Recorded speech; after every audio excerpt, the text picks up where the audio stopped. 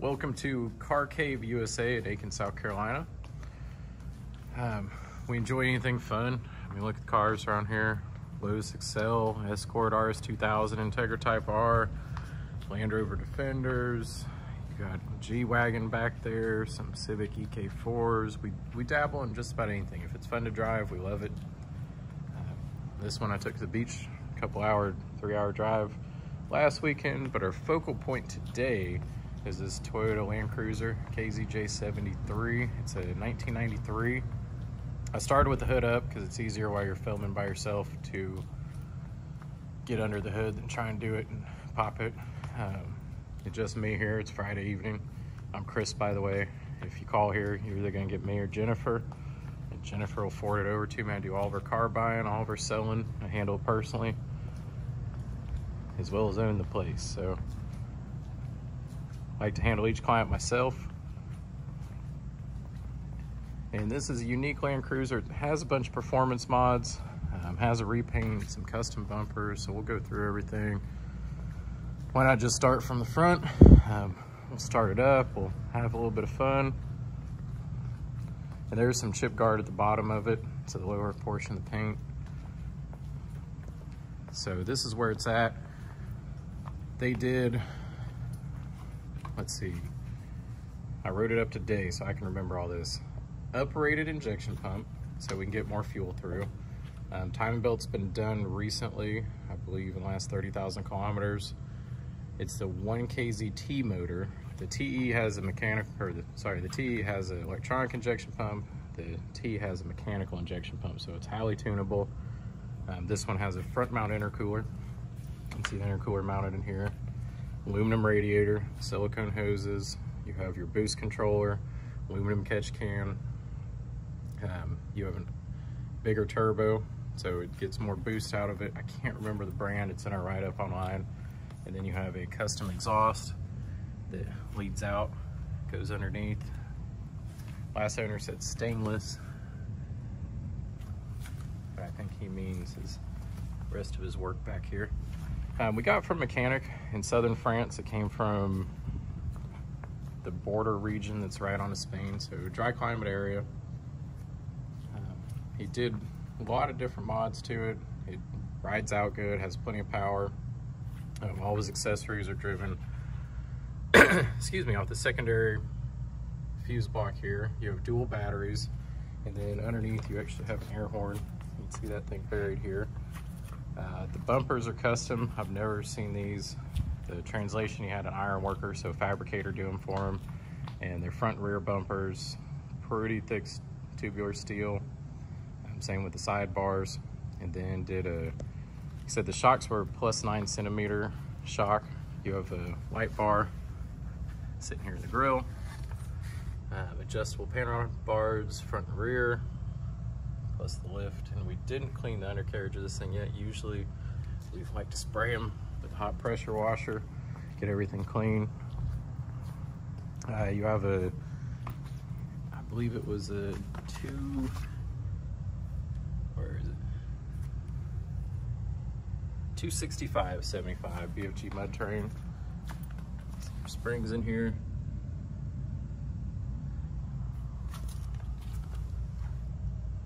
Terrain tamer steering stabilizer.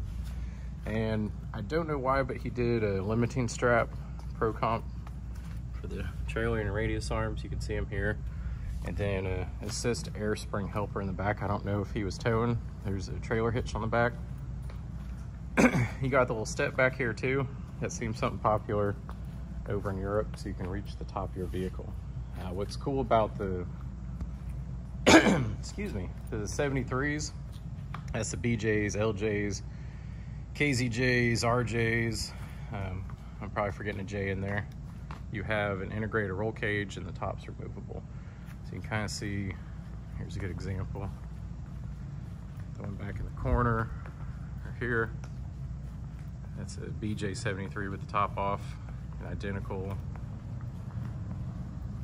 Sorry, I'm wearing sandals right now. It's the end of the day, gonna go to dinner relax the weekend, even though I work every Saturday.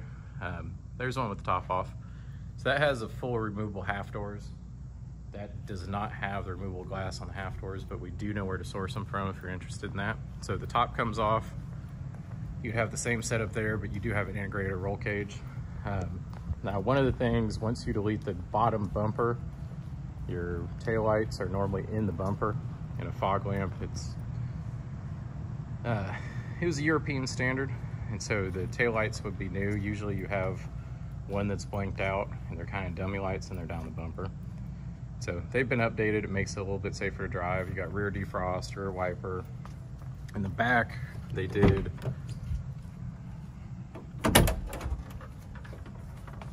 I'm not sure on all the doors he put limiting straps. So I'm not sure what the previous owner was using it for, but you want to make sure, I guess if the wind caught it, even with the holdbacks on the normal doors, the doors would be safe. So you have diamond plate. It could be removed. It's just sitting here on top. Um, and you have all your tracks for all your gear. You made these little reverse cubbies, which I do like. Um, you can still get your washer fluid filled. Your jacks behind here.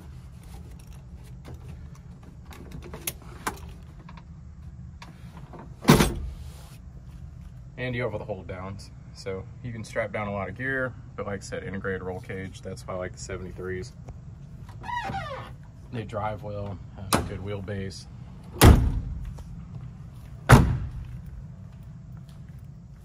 So it's not too difficult to get the top on one of these off and on. It just, it takes a little bit of time. Um, so the rear fabric that was used to cover the side compartments they use to cover the front seats here. And some little wrap around. These just Velcro if you don't like them. They come off the headrest with the Toyota logo. Uh, you have tilt steering wheel. The push button hubs have now been converted over to AVM. So if you look, you have manual front hubs up front instead of those push button, which is a good upgrade. Um, they can be a little temperamental with those push button electronic We've converted a few of them to manual. Uh, you know, like I said, I think it's a good upgrade. You have a tilt steering wheel, push button four-wheel drive, low range is shift selectable. Went ahead and upgraded the shift knobs, deleted the head unit in favor of some gauges. There's oil pressure, oil temp, bar, and coolant temp. altimeter, tilt meter, um, got built-in charger, down here, you can throttle up the vehicle, so if you're running accessories, you can drive the idle up a little bit higher. Um, master shut-off switch. Let's see, what else are we looking at here? You got adjustable bar in the rear. We went over the airbag helpers, uh, the eight-spoke black wheels, and I guess let's jump in so you can see these gauges. You do have the suspension seats, middle console, and I think it's called a come and go or fix and go air compressor that comes with it.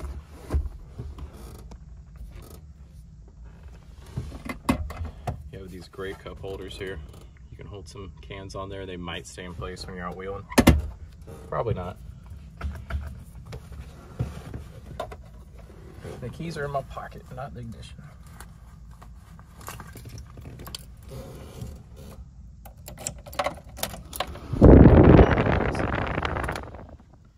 Gauges come up, glow plugs off. So I think it said the timing, which they call distribution, was done 256, and now it's 287. So I was, I was right in the zone. Our photographer just took it out a little while ago, so it temps up a little bit. It's always started real well.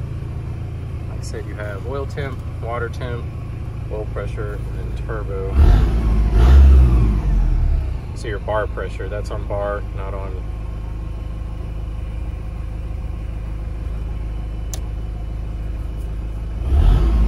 but it has a good sound to it. And typically the French like to tie in their aftermarket lights and accessories to the bright relay. I think it might be a standard for a lot if you're running brights, you can't run any of your accessory lights, but this one is hidden. Um, the technical controls are clean, which is a good thing to see. It was passing technical control even with all the different mods. And they put in some aftermarket clear corner lights. Let me see if we can find the magic switch for the light bar. Hadn't reviewed it yet. So I know the air horn. Oh, there it is.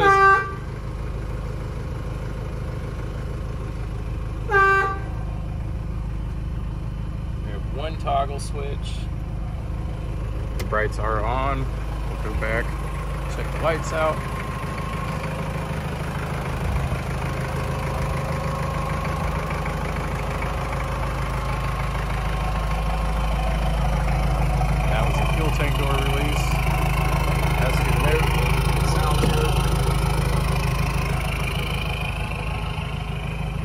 Tag light working. Brake lights, running lights working.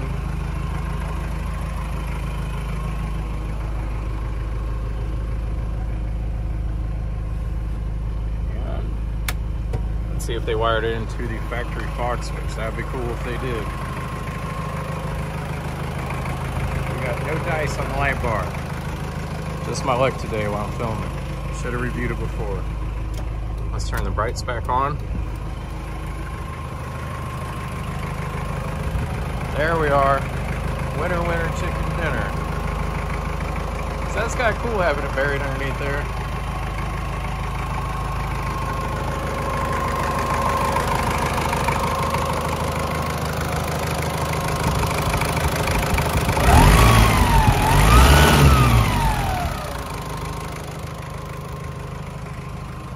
See, tail light works.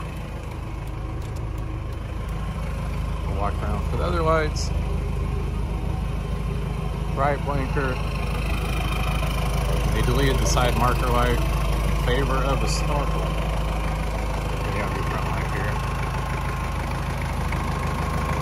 here. So it runs great, has good maintenance history. The other owner gave us a full, the previous owner, binder of records that come with it. It shows everything he had done to it. What's good is the French technical inspections are usually pretty harsh. And so, you know, I went through them and it came back clean on most Accords. You know, had a few small things, but that's normal when you go for the technical over there. Um, let's see if we're missing anything else here. You know, like I said, mainly a lot of performance mods. I know he had done a laundry list of Let's shut the hood so y'all can see what that looks like.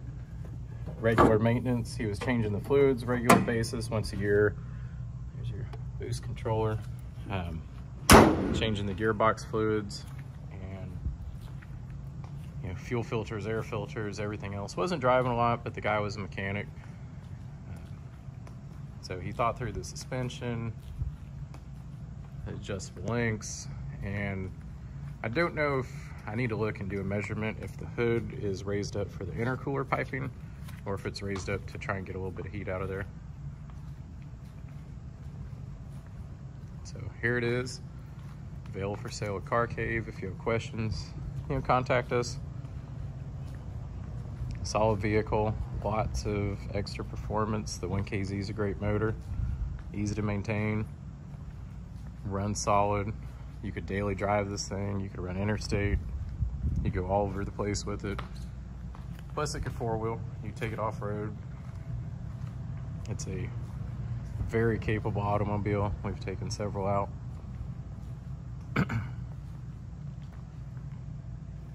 so there you go. A little bit longer than usual walk around. Didn't expect to be this long, but if you have questions, carcaveusa.com, 803-262-4742. Have a great day, evening, morning, whenever you're watching.